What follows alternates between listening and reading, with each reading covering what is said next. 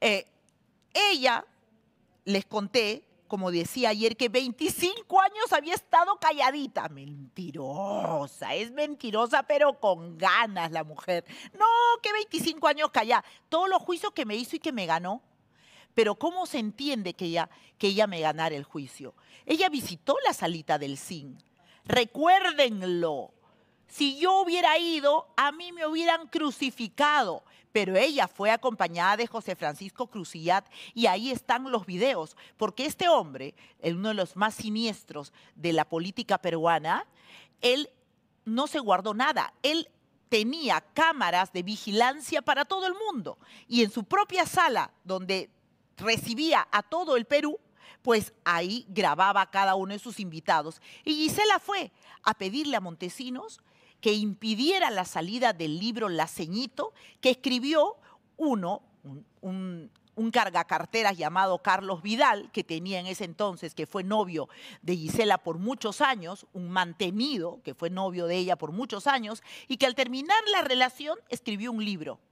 Escribió un libro con lo que él había vivido, parte de su historia, pero la ceñito, con la ayuda de Montesinos, impidió que el libro saliera siquiera que se imprimiera, confiscaron todos los libros con ayuda de Montesinos. Y por supuesto, me ganó todos los juicios y yo supongo que con ayuda de Montesinos.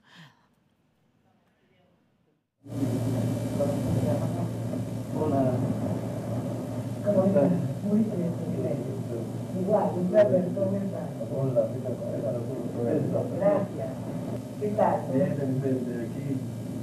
Bastante mortificado, como decía Francisco, por la infamia que, están haciendo y de la cual nos regresamos contigo, ¿no? Hoy día, hace como dos horas, sí. ha llegado eh, ya la notificación, pues tampoco una celeridad sí. de aplaudir y ha parado la, la publicación del Claro, o sea, igual, salió la medida cautelar. Claro. Exacto, pero bueno, claro, yo le decía, con la cautelar hemos parado el tema de que evite la distribución del libro pero igual es, un tema que aquí ha tenido la gota que ha rebasado. Pero sí, en algunos están hablando con amigas mías, no de la facilidad tuya, era, ya no era para aplaudir, era para pegarte porque no has hecho nada. Y evidentemente porque a nadie le gusta que le toque la intimidad, sea cierto, sea real, la intimidad es pertenece al ámbito propio de cada persona, por eso, eso no tiene por qué ventilarse a nivel de opinión pública, ¿no? Y más aún tratando de derechos particulares, íntimos, que no tienen por qué ser...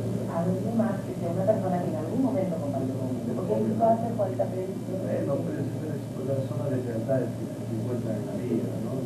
Porque con este concepto mañana tenía una empleada de hace 5 años y decía, yo vi que en la casa de la señora. Y vi esto y tal. Entonces voy a contar, contar cualquier historia, ¿no? Acá ya no es que tiene verdad mentira. No, no, ya la gente no, no lo especula. El nombre para... Hay que frenar eso y además es un buen punto para que se vea que no de libertinaje tiene límites. Porque no quiero puerta para eso, no está en la calle. Entonces sí que tener un amparo de años, ¿no? Ahora, claro, la medida cautelar es evitar eso ahora el proceso. Sigue, a seguir el proceso. Me baje un poco. Nosotros le vamos a dar todo el apoyo, como yo decía, Francisco, para que haga victoriosa de, este embrollo. Y ahora, claro, es una medida de carácter civil, pienso que debería ser inclusive la parte de la información.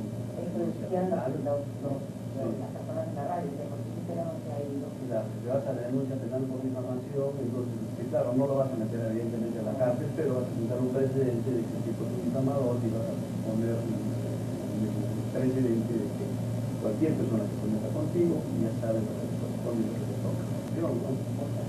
Inclusive yo sería un poquito más que más radical de presentarle que se le requiera bajo apercibimiento de, de, su abogado, su leguleyo, el hombre más poderoso y siniestro del Perú en esos momentos. En cualquier medio, o sea, librería, kiosco, etcétera, o en forma individual. Y que ser detectado, pues ya efectivo de la participación. Entonces, ponemos una persona que lo chequee, cuando veamos el asunto, le mandamos la filmación, una foto, y presentas como prueba, como puede ser efectivo de la y es un problema de él con la justicia. Bueno, queríamos demostrar nuestro punto, ¿no? Porque la conversación es larga, Montesinos, Montesinos se explaya con ella, le aconseja punto a punto lo que tiene que hacer contra el pobre diablo de Carlos Vidal, que había sido un novio, un novio que era un don nadie, que era un novio de Gisela Valcarce, porque Gisela también ha tenido unos novios que de verdad dejan mucho que desear. Por eso es que ella se lleva bien con estas eh, monas con metralleta, con estas que tienen eh, novios insignificantes, ¿no? Eh, carga carteras. Y ella tenía pues este novio, que como no tenía dinero, no tenía plata cuando terminó con ella, porque ella lo mantenía definitivamente, ¿de qué más vivía? Este Carlos Vidal, que ustedes seguramente ni siquiera se deben acordar de él, algunos que ni siquiera saben quién es él. Bueno, cuando termina la relación, Claro, por supuesto, escribe su libro llamado La Ceñito, contando pelos y señales de la relación.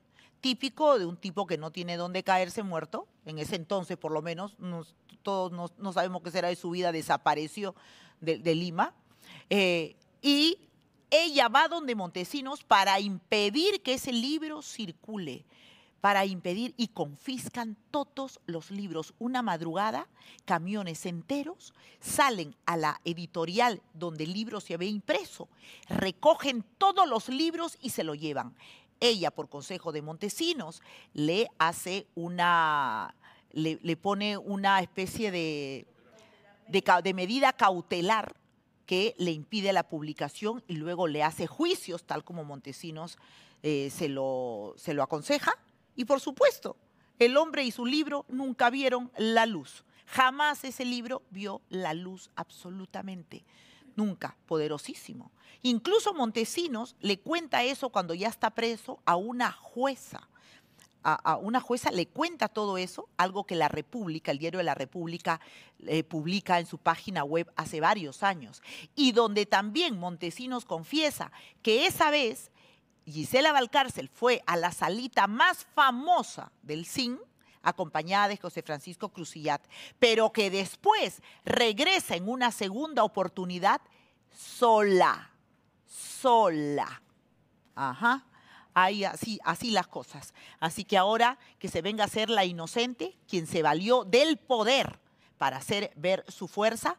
Y ahora ella quiere verse a sí misma como una mujer desamparada, sola, pobrecita, contra otra mujer que soy yo, acá solita. Yo no tengo otro programa que me defienda, yo no tengo otro programa acá de mi propio canal, de, mi, de una productora donde yo mande a los monos con metralleta que me disparen, no, yo acá solita acá solita, acá más bien me disparan de otros lados, acá me disparan, todos los mediocres juntos se unen, me disparan, así es, esa es la verdad.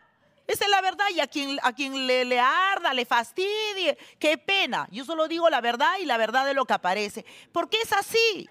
Es así, cuando más alto estás, la gente más te jala de los pies para que te caigas, más te tiran piedras a ver si te caes. Lamentablemente en todos estos años en televisión me he caído, me he vuelto a levantar y acá estoy.